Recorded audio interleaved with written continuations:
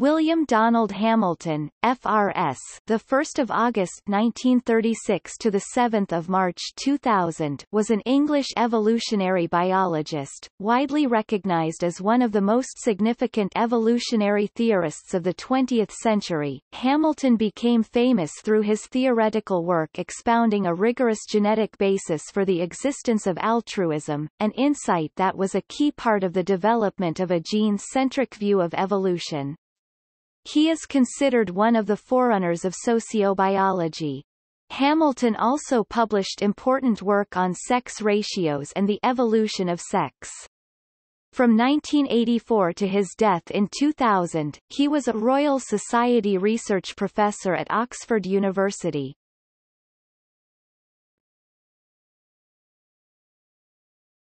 Topic. Early life Hamilton was born in 1936 in Cairo, Egypt, the second of seven children. His parents were from New Zealand, his father A. M. Hamilton was an engineer, and his mother B. M. Hamilton was a medical doctor. The Hamilton family settled in Kent. During the Second World War, the young Hamilton was evacuated to Edinburgh. He had an interest in natural history from an early age and spent his spare time collecting butterflies and other insects. In 1946, he discovered E. B. Ford's new naturalist book Butterflies, which introduced him to the principles of evolution by natural selection, genetics, and population genetics. He was educated at Tonbridge School, where he was in Smythe House. As a 12-year-old, he was seriously injured while playing with explosives his father had. These were left over from his father making hand grenades for the Home Guard during World War II. He had to have a thoracotomy and fingers on his right hand had to be amputated in King's College Hospital to save his life, and he was left with scarring and needed six months to recover. Before going up to the University of Cambridge, he travelled in France and completed two years of national service. As an undergraduate at St. John's College, he was uninspired by the many biologists who hardly seem to believe in evolution. He was intrigued by Ronald Fisher's book The Genetical Theory of Natural Selection, but Fisher lacked standing at Cambridge, being viewed as only a statistician. Hamilton was excited by Fisher's chapters on eugenics. In earlier chapters, Fisher provided a mathematical basis for the genetics of evolution and Hamilton later blamed Fisher's book for his getting only a 2-1 degree.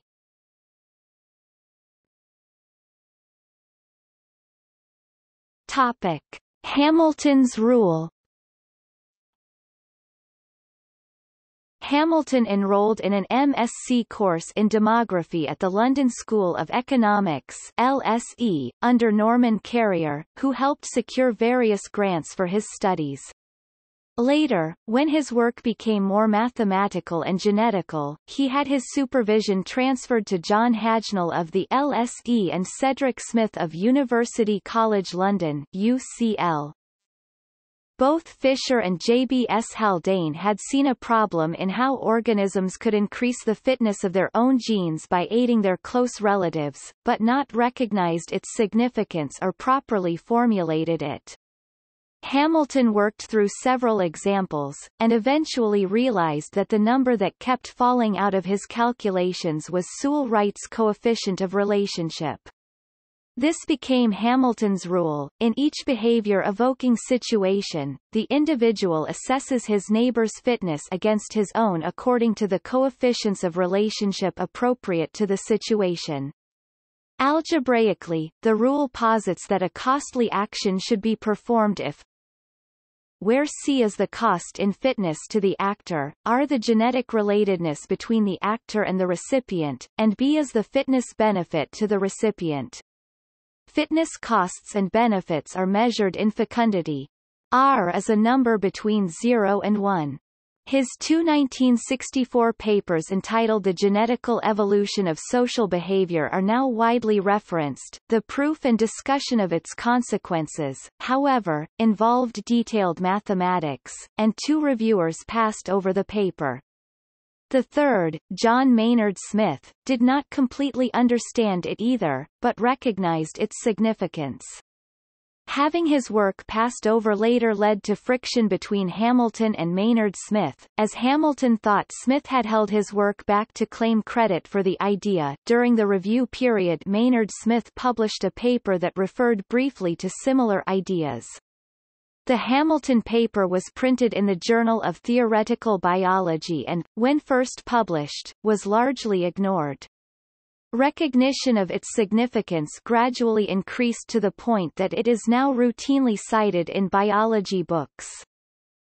Much of the discussion relates to the evolution of eusociality in insects of the order Hymenoptera ants, bees and wasps based on their unusual haplodiploid sex determination system.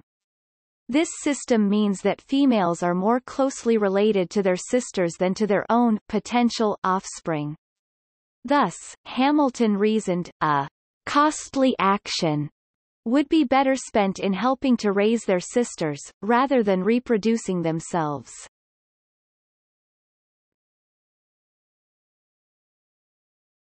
Topic. Spiteful behavior In his 1970 paper Selfish and Spiteful Behavior in an Evolutionary Model Hamilton considers the question of whether harm inflicted upon an organism must inevitably be a byproduct of adaptations for survival. What of possible cases where an organism is deliberately harming others without apparent benefit to the self? Such behavior Hamilton calls spiteful. It can be explained as the increase in the chance of an organism's genetic alleles to be passed to the next generations by harming those that are less closely related than relationship by chance. Spite, however, is unlikely ever to be elaborated into any complex forms of adaptation. Targets of aggression are likely to act in revenge, and the majority of pairs of individuals assuming a panmictic species exhibit a roughly average level of genetic relatedness, making the selection of targets of spite problematic.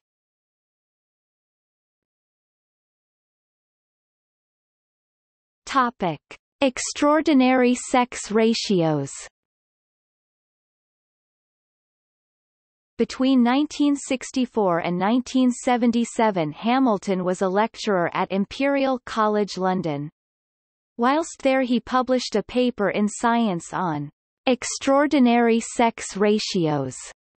Fisher 1930 had proposed a model as to why ordinary Sex ratios were nearly always 1 to 1, but see Edwards 1998, and likewise extraordinary sex ratios, particularly in wasps, needed explanations. Hamilton had been introduced to the idea and formulated its solution in 1960 when he had been assigned to help Fisher's pupil AWF. Edwards test the Fisherian sex ratio hypothesis. Hamilton combined his extensive knowledge of natural history with deep insight into the problem, opening up a whole new area of research. The paper was also notable for introducing the concept of the unbeatable strategy, which John Maynard Smith and George R. Price were to develop into the evolutionarily stable strategy S, a concept in game theory not limited to evolutionary biology. Price had originally come to Hamilton after deriving the Price equation, and thus rederiving Hamilton's rule. Maynard Smith later peer-reviewed one of Price's papers, and drew inspiration from it. The paper was not published but Maynard Smith offered to make Price a co-author of his S paper, which helped to improve relations between the men. Price committed suicide in 1975, and Hamilton and Maynard Smith were among the few present at the funeral. Hamilton was regarded as a poor lecturer. This shortcoming would not affect the popularity of his work, however, as it was popularized by Richard Dawkins in Dawkins' 1976 book The Selfish Gene. In 1966 he married Christine Friess and they were to have three daughters, Helen, Ruth and Rowena. 26 years later they amicably separated. Hamilton was a visiting professor at Harvard University and later spent nine months with the Royal Societies and the Royal Geographical Society's Xavantina Cachimbo expedition as a visiting professor at the University of São Paulo. From 1978 Hamilton was professor of evolutionary biology at the University of Michigan. Simultaneously, he was elected a foreign honorary member of American Academy of Arts and Sciences. His arrival sparked protests and sit-ins from students who did not like his association with sociobiology. There he worked with the political scientist Robert Axelrod on The Prisoner's Dilemma, and was a member of the Bach Group with original members Arthur Burks, Robert Axelrod, Michael Cohen, and John Holland.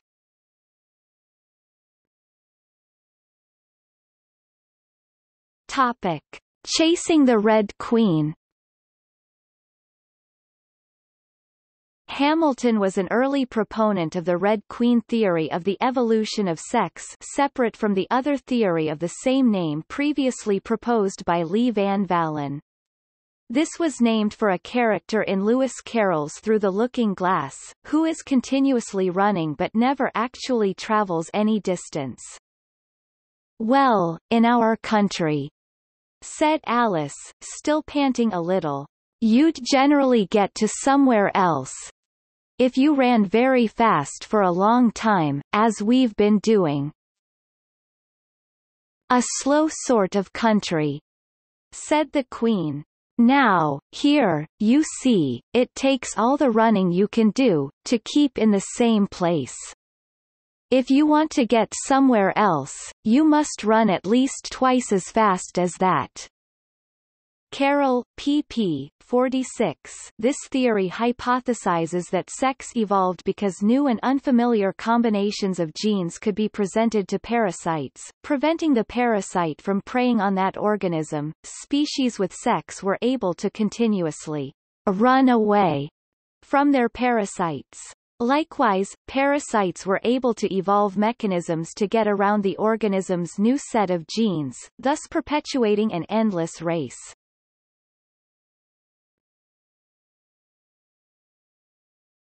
Topic. Return to Britain In 1980, he was elected a Fellow of the Royal Society, and in 1984, he was invited by Richard Southwood to be the Royal Society Research Professor in the Department of Zoology at Oxford, and a Fellow of New College, where he remained until his death. From 1994, Hamilton found companionship with Maria Luisa Bozzi, an Italian science journalist and author. His collected papers, entitled Narrow Roads of Gene Land, began to be published in 1996. The first volume was entitled Evolution of Social Behavior.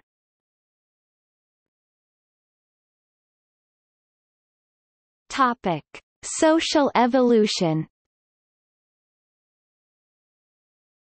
The field of social evolution, of which Hamilton's rule has central importance, is broadly defined as being the study of the evolution of social behaviors, i.e. those that impact on the fitness of individuals other than the actor.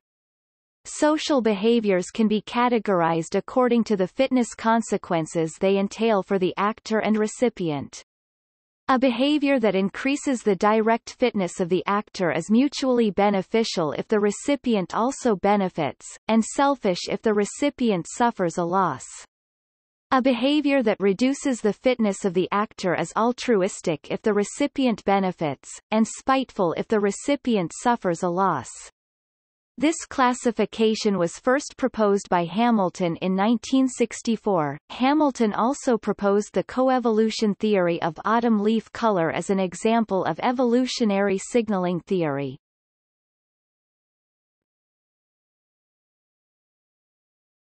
Topic. Expedition to the Congo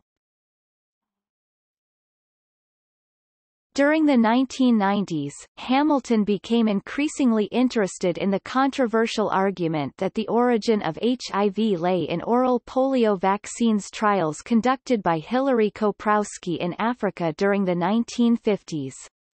Letters by Hamilton on the topic to the major peer-reviewed journals were rejected.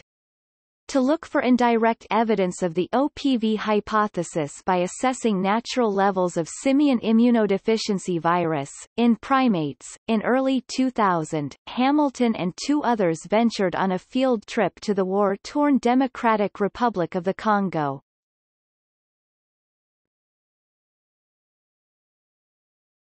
Topic. Death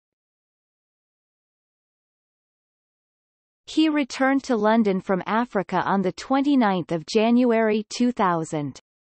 He was admitted to University College Hospital, London, on 30 January 2000. He was transferred to Middlesex Hospital on 5 February 2000 and died there on 7 March 2000. An inquest was held on 10 May 2000 at Westminster Coroner's Court to inquire into rumours about the cause of his death. The coroner concluded that his death was due to multi-organ failure due to upper gastrointestinal hemorrhage due to a duodenal diverticulum and arterial bleed through a mucosal ulcer.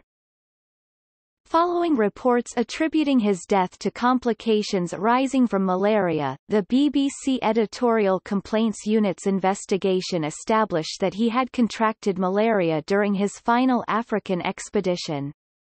However, the pathologist had suggested the possibility that the ulceration and consequent hemorrhage had resulted from a pill which might have been taken because of malarial symptoms lodging in the diverticulum, but, even if this suggestion were correct, the link between malaria and the observed causes of death would be entirely indirect. A secular memorial service he was an agnostic was held at the chapel of New College, Oxford on 1 July 2000, organized by Richard Dawkins. He was buried near Wytham Woods.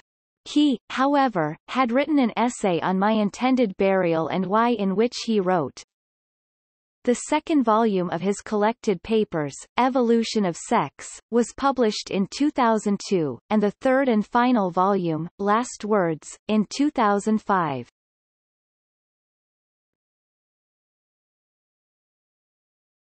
Topic. Awards. 1978 Foreign Honorary Member of American Academy of Arts and Sciences. 1980 Fellow of the Royal Society of London. 1982 Newcomb Cleveland Prize of the American Association for the Advancement of Science. 1988 Darwin Medal of the Royal Society of London 1989 Scientific Medal of the Linnean Society. 1991 Frink Medal of Zoological Society of London. 1992 Thirds Wander Prize of the University of Bern. 1993 Crafoord Prize of the Royal Swedish Academy of Sciences. 1993 Kyoto Prize of the Inamori Foundation 1995 Fyssen Prize of the Fyssen Foundation. 1997 Honorary title of Academician of Science in Finland. Topic. Biographies. Alan Grafen has written a biographical memoir for the Royal Society, a biographical book has also been published by Ullica Segerstråle, Segerstråle, U 2013. Nature's Oracle, The Life and Work of W. D. Hamilton. Oxford University Press.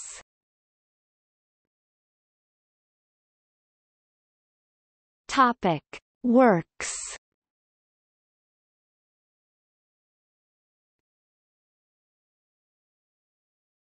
Topic. Collected papers Hamilton started to publish his collected papers starting in 1996, along the lines of Fisher's collected papers, with short essays giving each paper context. He died after the preparation of the second volume, so the essays for the third volume come from his co-authors. Hamilton W.D. 1996 Narrow Roads of Gene Land Volume 1, Evolution of Social Behavior Oxford University Press, Oxford. ISBN 0-7167-4530-5 Hamilton W.D. 2002 Narrow Roads of Gene Land Volume 2, Evolution of Sex Oxford University Press, Oxford. ISBN 0-19-850336-9. Hamilton W.D. 2005 Narrow Roads of Gene Land, Volume 3, Last Words with essays by co-authors, ed. M. Ridley. Oxford University Press, Oxford. ISBN 0-19-856690-5.